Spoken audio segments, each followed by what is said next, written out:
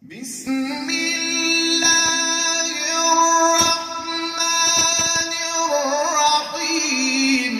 سبحان الذي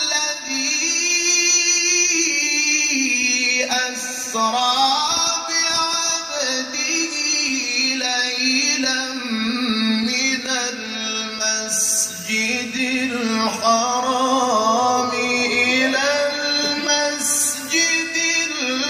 الأقصى الذي باركنا